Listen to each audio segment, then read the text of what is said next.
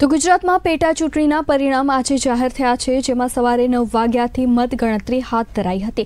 મહાનગરપાલિકાની ખાલી પડેલી બેઠકો માટે આ ચૂંટણી યોજાઈ હતી, જેમાં ઠાસરા નગરપાલિકામાં ભગવો લહેરાયો છે. ઠાસરા નગરપાલિકામાં ભાજપના બે વોટથી વિજય થયો છે, ઠાસરામાં કુલ અઢારસો મતદાતાઓ છે. ગોહેલ પ્રજ્ઞેશભાઈ નગરપાલિકાના નવા સભ્ય તરીકે ચૂંટાતા તેમને ફૂલહાર પહેરાવી અભિનંદન પાઠવવામાં આવ્યા હતા. સાથે જ નગરપાલિકાના સભ્ય પ્રજ્ઞેશભાઈએ પણ ઠાસરાની જનતાનો આભાર વ્યક્ત કર્યો હતો.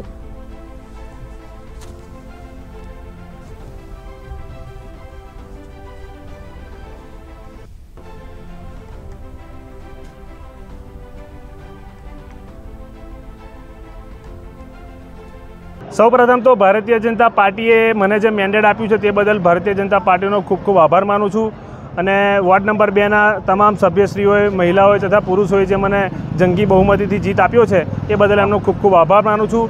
ચૌદસો ને સત્તાવનનું વોટિંગ હતું એમાંથી સાતસો ને વીસ ઉમે મતથી મને જંગી બહુમતીથી જીત આપી છે. તેનો હું સૌને ખૂબ ખૂબ આભાર માનું છું. એમનો આભારી છું.